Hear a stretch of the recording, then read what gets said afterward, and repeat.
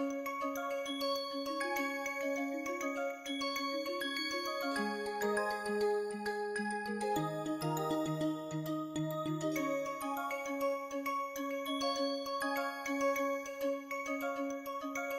and welcome to this session which is continuation of the lecture on the introduction to platform economy. I am Professor Sushmita Narayan. This is part of the NPTEL sessions on supply chain digitization. Um, in this session, I would be picking up a few examples uh, with respect to understanding the need for platform economy and we will end this particular lecture with an overview of platform economy concept. Just to give you an overview of what we saw in the last session is we saw that specific supply chain like this can be very complicated because of the number of transactions, the kind of information visibility that is required, the fact that customer needs to search for information related to prices, related to entities, the fact that the seller needs to do that, the fact that in some cases such as intermediate players, they need to do on both sides of the value chain this particular activity of selling, searching, evaluating and buying as well. Now, in summary what we had seen is that the supply chain is complicated because of the existence of several players, several transactions and the problems of visibility and the need for appropriate decision making skills at each stage. So, let us pick up an example and understand what could be the kind of complexity we could probably see this in practice. So, I am picking up an example over here, a simple example. Let us say we have a customer who is interested in cooking. Now, this customer wants to make a specific kind of a dish and wants a type of spice which is required to create this dish. Okay. Now, this customer is located in Rajasthan okay. and the customer has observed that the spice required for cooking this dish is not available locally. If that is the case, then what would the customer do? The customer is going to cook the dish without the spice that is one option or the customer could cook the dish and substitute the spice with another ingredient which is maybe providing the same kind of flavor, taste, texture, whatever be the requirement that the customer wants. So, the customer has basically and in Indian terms we call this as jugaad. The customer has done something which is possible with whatever materials are available locally. But if we were to consider this problem, if we were to see the need for the customer is not met, right. The customer was looking at creating a dish which will make everyone very happy, which might help uh, him or her demonstrate some cooking skills and which might actually make the dish very tasty.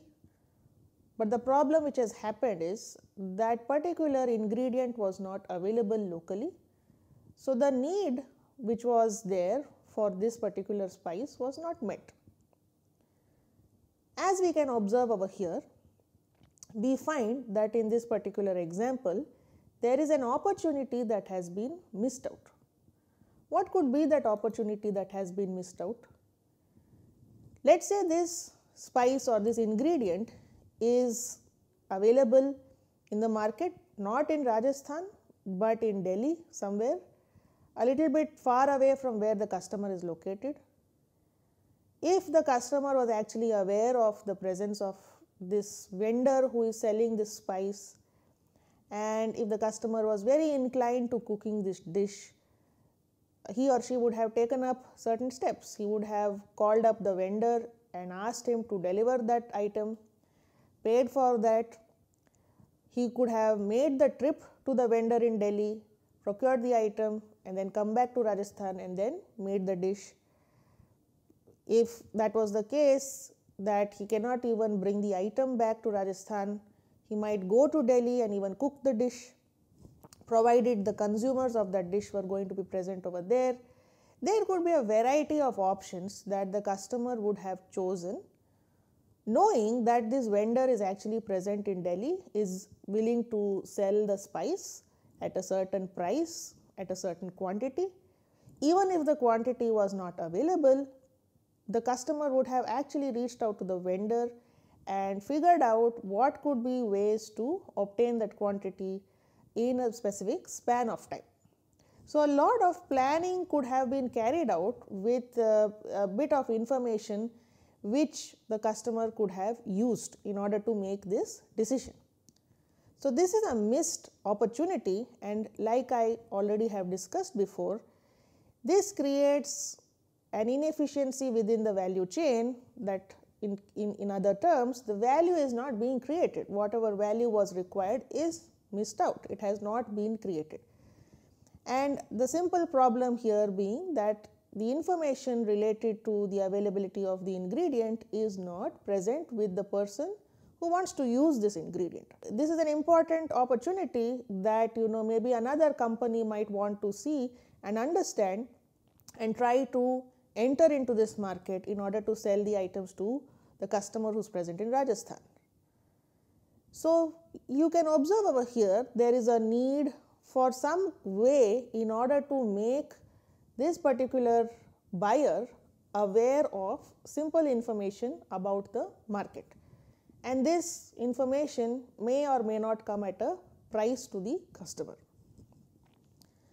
Let us pick another example which is similar to this and presenting a different type of uh, idea or element or complexity so to speak. So, in this example that you see here example 2, I am picking a company, there is a company some unnamed company over here XYZ that is trying to sell high quality compressors to manufacturers who are making household appliances and it wants to sell these compressors in the international market. Alright. So, compressors are very often used in um, the electronics, electrical appliances industry uh, and it is quite a very well known kind of element within heavy industries as well. So, it would make sense that you would like to reach an international market with whatever you have manufactured uh, if you are able to produce high quality products. Now, the company is new, let us say that the company is new to this market, what would they do? A very typical process that could be followed by some of these companies is to send out their salespersons into different kinds of possible networking places.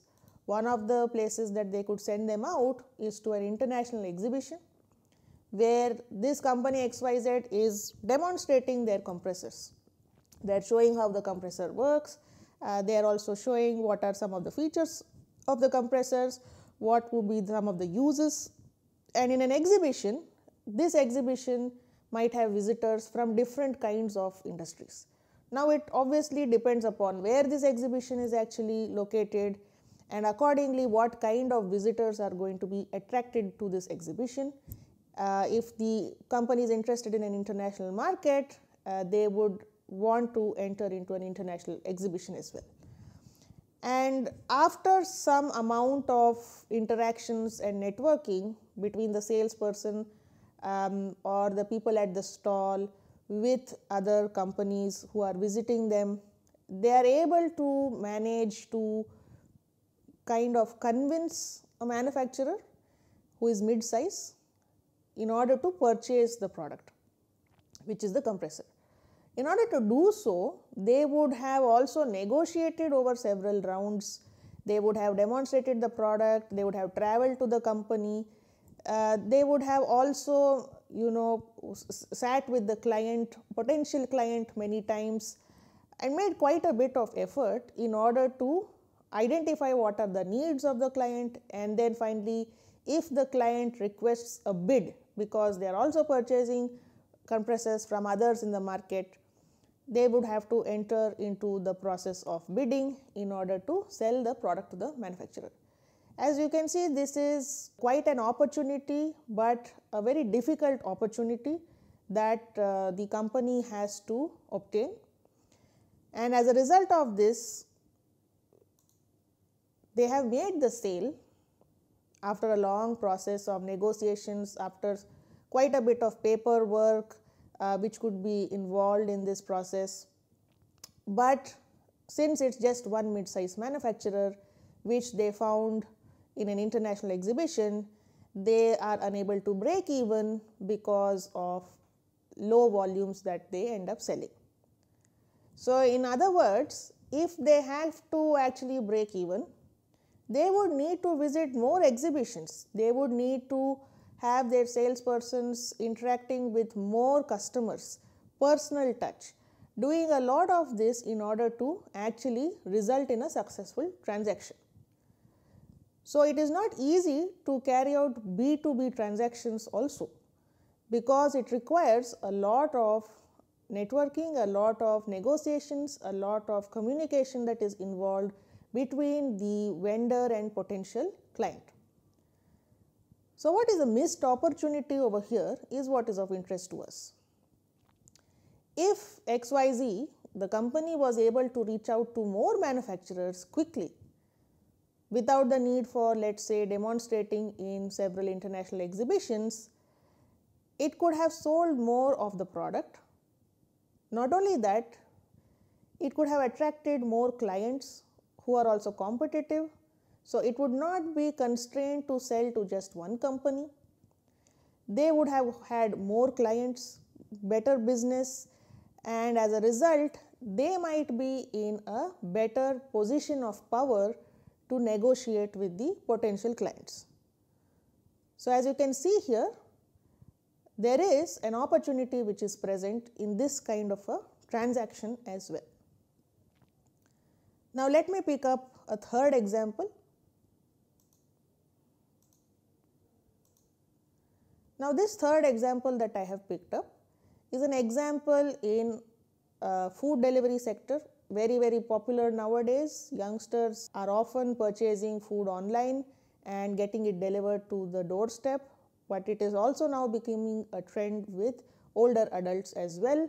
It's a very, very popular mode of transaction that happens, uh, which has happened after the growth of e-commerce uh, within the country and across the globe. So, what is the case example that I am picking up? Let us say we are looking at a company that is making last mile same day deliveries to customers from cloud kitchens. So, in essence I am not talking about a restaurant, but a cloud kitchen which is going to uh, primarily work on just producing the product and selling it to the customer through the delivery partner. It is a same day delivery very common nowadays to have same day uh, not only same day in India it is becoming very common to have 10 to 20 minute deliveries as well and uh, it is becoming a competitive opportunity for companies to enter into such markets.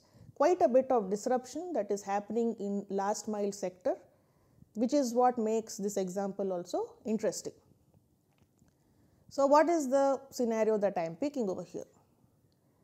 Let us say there is a customer, potential customer of this product and this customer has ordered for two different items from two different but nearby cloud kitchens. So, in other words we have um, let us say the customer has ordered one dish which is let us say the main course and one dish which is a dessert. The dessert may be from a bakery and the main dish may be some regional cuisine that they are interested in uh, eating. So, these are two different items, two different cloud kitchens that need to be attached for this transaction. So, what could be the issue which happens here? The company ends up sending two delivery partners for both these items separately. Remember the cloud kitchens are actually nearby, but despite that the company is sending across two separate delivery partners to each of the cloud kitchens and the customer is receiving the product from the two cloud kitchens after the delivery partners have visited. So, what do we understand from this? The customer's need is met. The customer wanted the items, the main cuisine or the main dish as well as the uh, side dish or the dessert that was of interest, but the customer is not happy. So, this is a service quality issue that we are facing. The customer is not interested in answering the doorbell multiple times in order to receive various dishes and is not happy to receive separate deliveries. So, why is this a problem? This could be a problem because next time onwards the customer might actually not order maybe the dessert and would just order the main dish. So, which means you have lost business for one of the cloud kitchens that is one possibility in the future. Another problem that could occur over here is the customer is not happy with this kind of separation in the deliveries and might move to another company who is doing food delivery services. So, you can lose out on customer loyalty not only for one of the products, but for both the products and the customer might leave the channel altogether. So, this is a problem. This is a problem which is a service level issue despite the fact that the need is met for the customer. Now, another challenge could also arise. Let us say at the same time you are having a requirement for another delivery to be made to a different customer, but you do not have delivery partners because you have assigned both of them to this customer. As a result, there is unavailability of delivery partners and for a different customer, the business transaction is cancelled or denied, which means it is possible that you will also lose this potential customer not only now, but also in the future. So, this is going to become an issue, it could become a large issue or a big issue of significant uh, business impact for the company going ahead if this is going to recur with several potential customers something which is very, very undesirable as such. So, over here again we look at what is the missed opportunity that we had this particular case. Our missed opportunity over here was that we had two delivery partners and two customers. So, ideally speaking, we should have had one delivery partner assigned to each customer. But as a result of this mismatching that we have carried out as the company, one of the uh, deliveries has been not made and in the other case two separate deliveries have been made. So, our missed opportunity is in assigning one delivery partner to each customer and it could be possible that we could do this by taking in some piece of information. Again this relates to two aspects. One is the visibility of information and the second aspect being a decision making problem. So, it is possible that maybe one of the delivery partners was okay to visit both the kitchens and then visit the customer. So, in such a case we could have assigned that delivery partner to the trip for the two items and the other partner who was not that interested who could not be incentivized also in order to take this trip can be assigned to the different customer. So, you can see here there is a missed opportunity for matching the right delivery partners to the right customer locations as well as to the right orders as such. We see these kinds of problems which we have seen in example 1, in example 2, in example 3 and multiple variants of these problems in many business transactions. And all of these problems as you can see here are not necessarily supply chain related in the sense in terms of whether we can store a product or not, but they are related to simple things like what information is available to me, how can I make a decision which matches the right resource to the right customer or to the right supplier. Simple decisions like this which need to be taken up quite often in real time. And if they are not done in real time, given the way the economy is functioning, there is a good chance that a competitor will come into the market and take it up as well. So, over here we see that there is an opportunity for bringing in some kind of an intermediary who helps in making this information visible to multiple players and connecting these multiple players. So, in other words there is need this shows that there is need for a platform or an intermediary platform. And what will that platform do? It will provide visibility of several elements within business transactions, whether it is with respect to players such as your buyers, your sellers, service providers, customers, government bodies, financial institutions. It can relate to any kind of entity who is interested in some kind of a transaction. Visibility of prices, visibility of locations, visibility of product or service characteristics. So, you would be interested for example, in knowing what does your shampoo bottle look like, right. You would be interested in knowing what will the restaurant that you want to eat at actually look like, what are the aesthetics of the restaurant, what is the kind of seating which is going to be present in a theater, right. What would be the rating or reviews for various resources. This is quite often used in order to identify or position the right kind of products and services within the market. This information helps in creating very, very competitive transactions within the marketplace. So, this is what we call as the utility of a platform.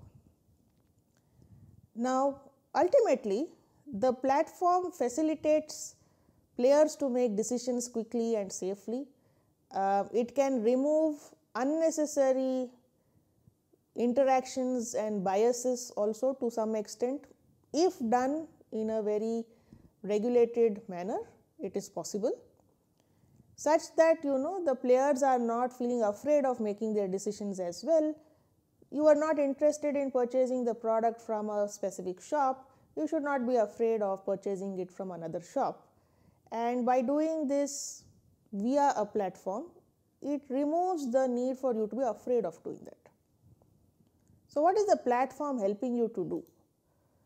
The platform economy connects the players with each other and it enables social as well as economic transactions. Now, this is interesting because we are talking about the social element also and the economic element also. So, what are some of the examples of this? Let us see. In a traditional platform economy, the most popular examples that are present are that of our local markets, mandis, the souk, bazaars, very very popular examples. And why are they called platform economies? It is because multiple players are able to visit a location, whether it is buyers or sellers and they are able to interact with each other and they are able to make a trade. A very common and popular example for platform economies in which an intermediary takes a place or a role is that of matchmaking. In olden days we had matchmakers, we also have that today uh, who are basically people who you know who will identify potential matches for marriage, uh, they would review the profiles of the groom, potential groom, potential bride and they would see which match would be the best considering family history and several other parameters. This is a business in itself, a very, very strong business which has been there across the globe, not just in India. And as you can observe over here, these platforms are primarily offline and the interactions and transactions happen on location. Now, I was saying that the transactions can be social as well as economic. Uh, in some cases, the transaction is just social. Uh, you might be visiting a gathering and meeting a lot of people. There is no economic transaction that is happening over there. And in some cases, it could be social as well as economic. For example, markets, bazaars, in traditional uh, rural economies, most of the people who are visiting those markets also know each other. So, it becomes a place for also interacting with people with same uh, interests as well. But today we live in a digital age and in this digital age our examples are Amazon, Flipkart, Facebook. As you can see these are places for carrying out economic transactions. Social transactions in the sense you are also able to provide your own reviews of the product, interact with other parties. Facebook is an example purely for social transactions, but it has marketplaces as well where economic transactions can take place. Ola and Uber are good examples of aggregators who work on the platform economy concept where they try to match drivers with customers or commuters. Then we have the example of matchmaking business even within um, the digital age such as Shaadi.com which is a very popular example in India, but we have other examples. Um, I have written Facebook erroneously over here, so you might just disregard that. And then we have examples such as Ariba. Now, Ariba is an interesting example uh, because it relates to B2B transactions. B2B transactions in the sense we are talking about buyers and suppliers in the business domain uh, who are companies and entities in them uh, entities themselves who are trying to reach out to each other. Um, then we have in India a very popular example which has come up now which is the government e-marketplace it is also called as GeM used uh, by several uh, entities who would like to purchase products for their organization. It is open for government entities as well as uh, private entities in order to purchase. It provides these marketplaces such as Amazon, Ariba, GeM, they provide a platform where the companies are able to demonstrate what their products are and the potential customer is able to make a decision as to whether to purchase or not. Not only that, they are able to take these decisions uh, sometimes with the help of some decision support tools which might be provided. For example, you would have seen very commonly in Amazon, uh, Flipkart, uh, you are able to look at other potential options which are similar to the product that you are purchasing and this helps you to make a decision. The primary feature over here is that these platforms are virtual they enable both virtual that is online and offline transaction between parties. So, you can make the entire transaction digital in the sense you purchase the product and you completely paid up as well online using perhaps your UPI or banking transactions or you might pay to the delivery partner who delivers the product to you. That is an example of an offline transaction that is taking place. So, we can observe that the platform economy in the digital age is providing hybrid transactions to occur. It is able to connect several parties together and if we were to consider what it actually looks like, it would look like something like this. This is an example of an e-commerce website that I have taken which you might be visiting frequently. So, the customer is logging on to this website, they are able to see the products, Another customer is also logging in, able to see the products. Sellers are able to demonstrate their products on the website, promote them even if they pay the uh, platform some amount of a fee, that is also possible. And uh, once let us say a seller is matched to the end customer because of the decision taken up by the end customer, then one or more of the transportation service providers may be linked to the physical transaction that is taking place.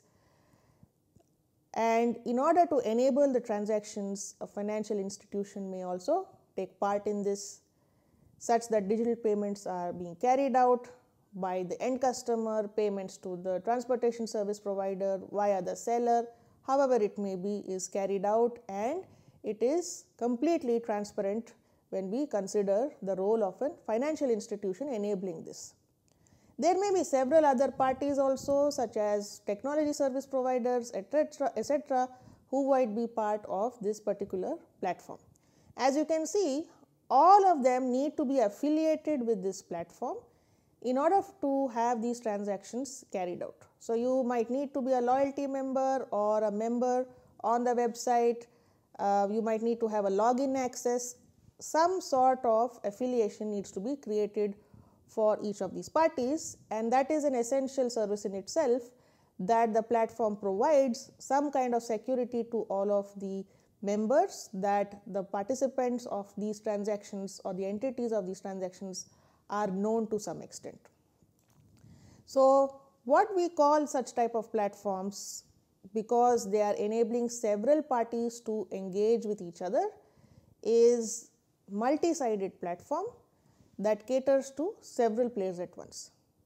So, with that we conclude the discussion on the introductory aspects of the platform economy and how it relates to the supply chain uh, and various other business problems that could exist, how it can help improve these problems by providing um, a place physical or virtual in order to carry out transactions in a seamless manner with as much information as possible provided to various entities, security in terms of types of transactions, so on and so forth.